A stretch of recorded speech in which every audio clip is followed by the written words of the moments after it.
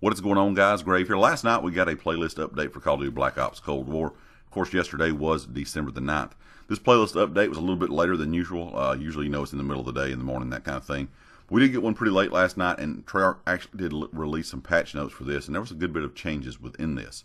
Uh, before I get into all the details, if you're not subscribed, make sure you hit that subscribe button. If you are a subscriber, make sure you have notifications turned on. If you enjoy the content, smash the like button, and check out everything down in the description, the community Discord, my Twitter and of course the affiliate here on the channel, GT Racing. They're having a big Christmas sale right now, all kind of gaming stuff, desks, chairs, keyboards, mice, whatever, uh, kind of whatever you're looking for. I do have an affiliate link down in the description so you can use it uh, if you want to purchase any items. I would really appreciate it if you did that. But give them a look. Like I said, they got a lot of stuff on sale right now, kind of for the Christmas holiday season. Uh, kind of getting into what the changes were with yesterday's update. They did fix the map voting system uh, where it was unintentionally disabled. I'm sure if most of you played yesterday afternoon, you could notice that you could not vote for any map, which was kind of bad, but that did get fixed pretty quickly. They also added Miami to combined arms map rotation. Now, last night, we, me and one of my friends did play some combined arms. We did get a map or a, a, a game on Miami. It was combined arms assault. Now, what you're seeing in the background right now, of course, is hardpoint. A lot of these uh, flags where the hardpoints are are kind of the same locations that uh, you know the flags are in combined arms. I'm not really sure if I'm a big fan of that. It is nice to have more people on this map because it is so large. So 12v12 was really nice. But at the same time, I'm not really a big fan of some of the, the flag locations because it's just spawn trap central, really. I mean, it, it was our team spawn trapping the other team or vice versa. So I, I feel kind of like they need to probably adjust some of these flag locations.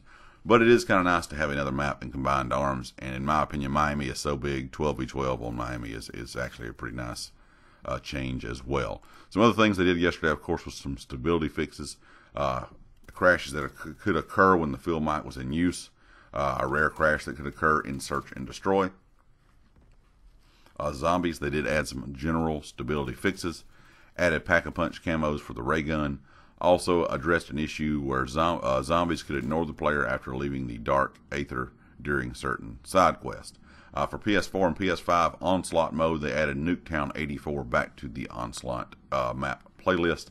They addressed an issue where the breadcrumbs could appear on locked items, addressed an issue where bre- uh, menu breadcrumbs could return after going to the campaign, addressed an issue where uh, placeholder boxes could appear in place of players' calling cards, and addressed an issue where the red artifact could appear under the rewards after in the after action report, and the hunter icon will no longer appear distorted in weapon mastery tab for the gunsmith for the M79. The one thing I did find interesting was they were talking about the calling cards kind of having that you know white block on them. I finally got a relentless. It was really really nice to get a relentless. I'm gonna try to upload that gameplay later today. It was kind of a live commentary I did. I was kind of just sneaking out in the dunes and satellite with the LMG, but uh, I, I, did get that relentless. And what's strange is I never got the calling card. I think, now I could be wrong. I thought there was one of the dark ops or the classified ops calling cards was for our relentless. Um, and I have the medal now for relentless, and I didn't get it, which kind of sucks because it is such a sweaty game. It's hard to get a bloodthirsty. And I got a relentless, and I was like really excited, and I was like, man, I didn't even get the calling card. so I'm not sure if anybody else is having calling card issues. I know I thought that was kind of interesting. They were talking about the calling cards not working correctly.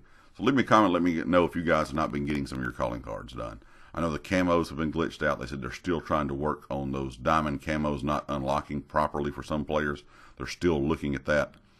I know they're still also looking at some issues uh, on some of the platforms with you know crashing and that kind of thing. They talked about that, but those have not been fixed just yet.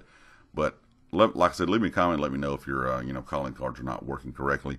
I'm going to end the commentary right here. I'm going to let the video play on out if you guys would like to finish watching it. Not much longer, but Anyway, of course, if you like the video, hit the like. If you haven't subscribed yet, please do so, and I'll catch you all next time. Peace.